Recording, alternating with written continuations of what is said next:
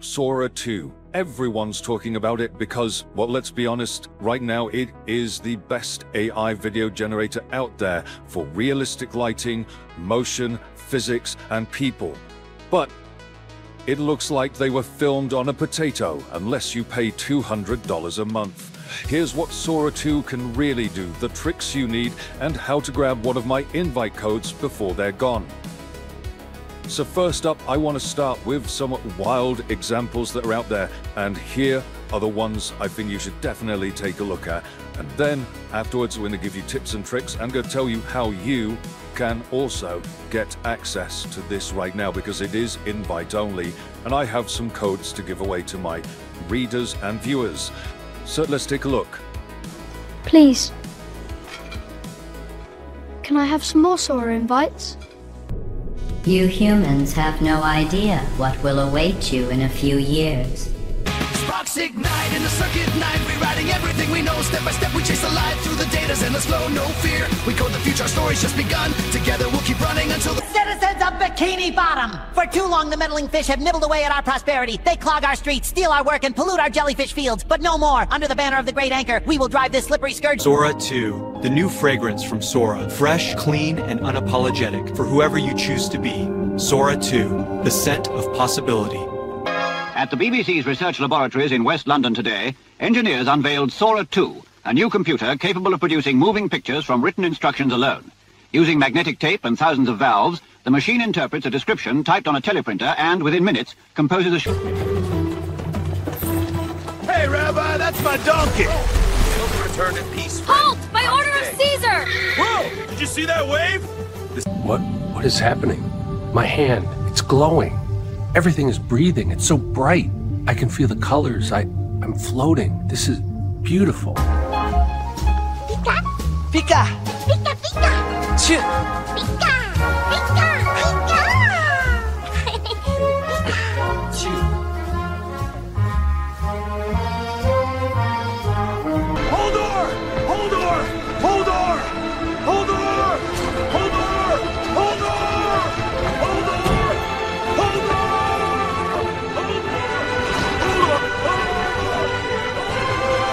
Sora will become the next TikTok? I mean, yeah, everyone's talking about it. If they keep the vibe fun and not too many ads, I can see it blowing up. Maybe. TikTok felt like a fad when it started too, and look at it now. It's all about what the kids decide. 人類の未来を変える遺伝子今日はその発動実験だうまくいきゃノーベル仕様だな葵フラグ立てないで数値はまだ不安定よ Sora 2 is amazing! Well, guess what? Sora 3 is reality, Morty. You're actually in Sora 3 right now. Have fun with that thought. Good afternoon. That's good. Just put it in park for me. You know why I pulled you over? Yeah, well, you're doing 65 and a 45, and you're a dog. You can't be driving. All right, hang tight. Don't take off. I'm gonna need you. Morty, interdimensional TikTok is here. OpenAI finally dropped Sora 2.0. Look at this. Oh, we are f- As you can see, look, this model allows for a huge amount of IP content. You've got SpongeBob, Pokemon, celebrities. But let's be honest, that's not going to last. I expect those to get restricted very, very soon. One thing you will notice in those examples is it is really great at animation as well. Now, animation, anime, all that stuff has been very difficult for AI models to do, but this one really nails it. Right, as I said though, the site is invite only right now. I've got four codes that I'm going to be giving away to people who've bought my book on prompting people in Chat GPT 4.0. And I've tested a lot of the prompts and they actually work in Sora 2 as well. The book is available in the link in the description down below. And if you use the discount code SORA2, you can get 25% off today. I will be choosing four winners from the list of people who bought the book and I'll be emailing them at the end of today. So please do check it out. If you've already bought the book, great. Make sure you keep an eye out for an email and you might be lucky. If you haven't got the book, you can get it down below. So let's get into the model and see what we can do with it. Now, before we start going through all the different props, I want to show you this because you see right here at the top of the bar, you've got these pictures of people. This is called cameos and it's a very, very cool. It allows you to take pictures of your head from different angles and then create an AI version of yourself. You can actually set it so that it's private and that you can use it, or people who you for, uh, follow or allow to follow you to use it. Or you can set it for everybody, and you'd have to be crazy to do that. But some people have been crazy, as you can see.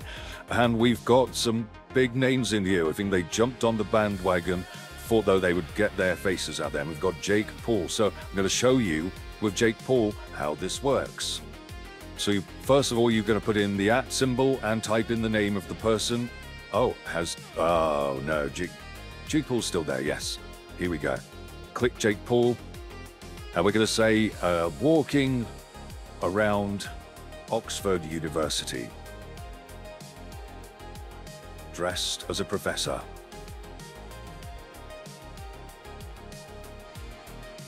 We can go here to choose the orientation, portrait landscape. Let's go with portrait. Now I find that portrait actually does give better results. And I wonder whether this is because the the whole app is designed to be a new social media platform. So maybe that's why I'm seeing better results.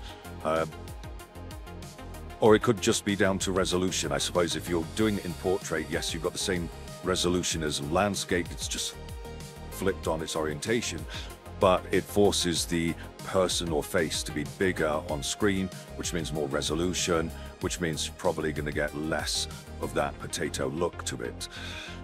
Obviously not an issue for people on the £200 a month subscription. I completely understand why they've done that. But let's go ahead and create this now. Now it's going to be added to the queue and you'll see you've got your own area and these are the ones I've posted to live but you have a section called drafts. You go in here and this is where the ones you've been testing go. And uh, one of Jake Paul is going to be loading here and I'll edit now and come back with the finished video. And we have our result. I made it to Oxford. I'm walking through campus trying to blend in as a professor. Got the tweed on, got the satchel. Think the glasses sell it? These buildings are older than my country, man. Wild. Classes at 3 o'clock, but until then, let's just... I made it to Oxford. Uh, I'm very impressed with that. The next feature I want to show you is that you can upload images. So there are very strict restrictions on this. It will not let you use images of lifelike people even if they're AI generated images, it won't let you do that. Now, a bit of me is hoping that the next step is at least Sora lets you take AI generated images you make with, with GPT-4o and bring them into this or something along those lines. I think that would be great. Ideally, being able to upload any image to turn into a video would be good. But right now, I guess with content moderation and all the rest of it, they're just not taking that risk. What you can do though, is you can upload uh, cartoons and animated characters and put those into this. So like I said, you can upload characters, that seems to work fine. I've uploaded this character here. See if we can just get it to use her as the basic character in the image rather than trying to animate the image. Let's just see what happens. Keep it simple. We will make that landscape and press generate.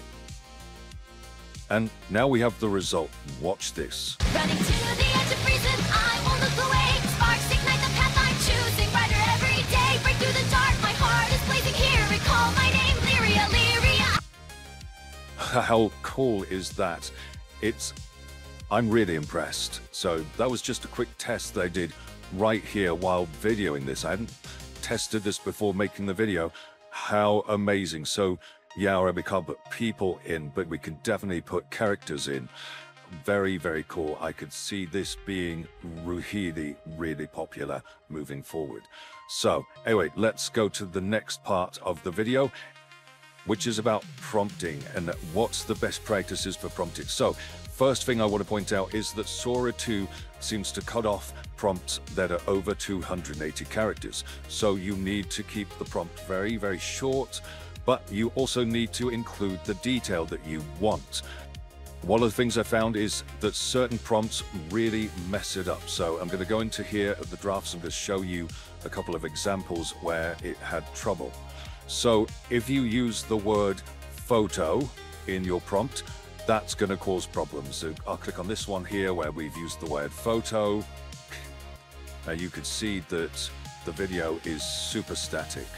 So it's followed the prompt. We've got the really nice uh, Rembrandt lighting, but we haven't got any real motion in this at all. So it ends up looking just odd. It so be very careful about that word portrait photo or picture.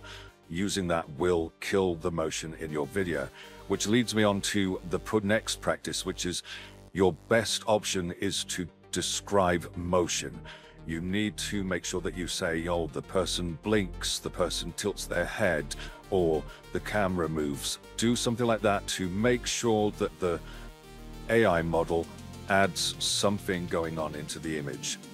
Another thing I found that actually can help quite a bit is if you say filmed on or filmed with. So if I go back to my main images and videos, then I'll scroll down and show you just a couple examples. So here's a really good, actually these are, this is, these are two really good examples. So I'll show you this one here.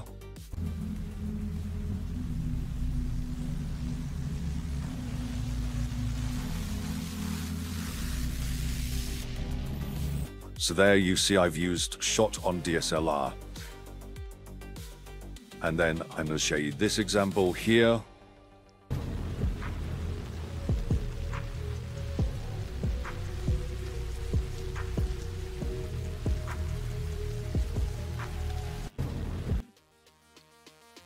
There you see I said this one was filmed with a toy camera. And that's why it's got that kind of like blurry, soft look to the image and that nice bokeh in the background. This model is really great if you prompt with a bit of detail. I've tested using no detail whatsoever and I've got some really good results. So I'll show you, for example, here, this one is come out very nicely. You always know the way to my heart. Cherry pie and good company? That's all a man needs. And maybe one more bite. Deal. And that was just using the prompt cinematic video of 1950s Technicolor Colorama film. So you can be very simple with it, but you're more likely to get some rubbish results if you don't give it detail about what you want in the image and what you want happening. And a good example of that is where I've said cinematic video and I've left the prompt very light and it's ended up looking like a cinematic from a video game. And this one is a great example of that. You're able. I thought you were down with the side of the river. I was. But the past has a way of tracking you down. Then let's make sure it is aware now this time. Now, I will say that even though it's not the film I wanted, it's a very cool scene. But that does lead me on to the next point, which is that you will need to roll a good few times to get what you want. And sometimes it will not understand the prompt properly, or it will just do something a little bit different than what you want. So you will need to do a couple of iterations to get it right. But that actually means you do get a great diversity in results. The same prompt will get you lots of different videos which is something that with 4 model you don't really get. If you use the same prompt, you will always end up getting the same image or very close to the same image each time. This one, it's got much more randomness to it, which is great because you want to be creating lots of different videos. This can do that. But interestingly, part of that means that the actual guardrails for this are inconsistently applied right now. Uh, a great example of that is that I put in the prompt a grindhouse horror movie or action film and I got a result like this.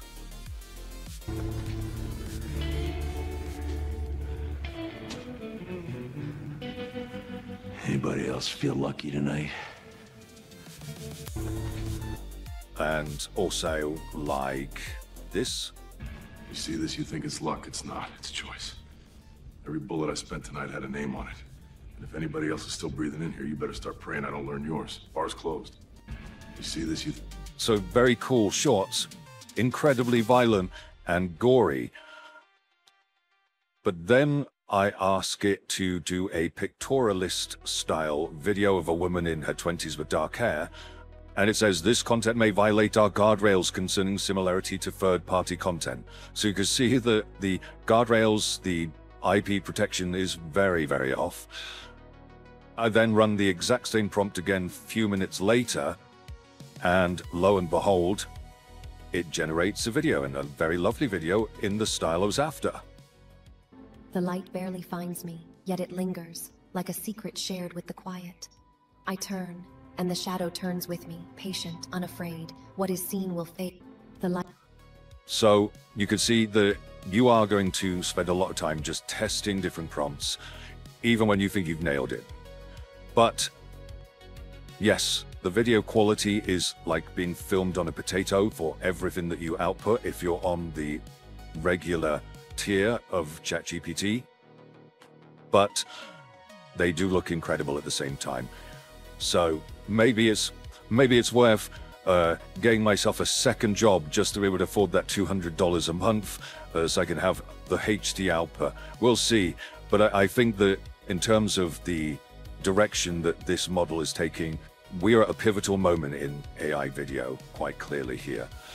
10 second limit on videos, which is very limiting, but you know, this is going to get better as the models get more efficient, the hardware gets more efficient, longer videos are going to be probably possible, and I am still sticking to my prediction that in the future you will write a prompt for the movie you want to watch, and a model like this is going to generate the whole thing.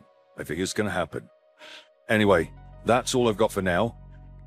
If you want to get a chance of getting an invite code, please do make sure you go to the link down below, get that book, and I will be announcing some winners later on for those invite codes. And I'll see you all in the next video where I'm going to be testing every lighting setup I can think of in Sora 2, and I'll be putting that into a video for you all to see.